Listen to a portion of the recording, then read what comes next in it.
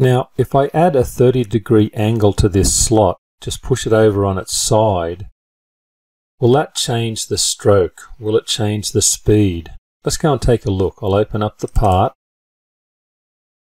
And I'm simply going to come in here and box pick the area that I want to rotate around. And I'll grab the wheel and I want the axis right in the center. If it's not going where I want, say it should go like that, that's where I want it. But if it doesn't jump to that and it stays on the wrong orientation, don't be afraid to swing this around and just pick up that y-axis. And we know we're locked on that now.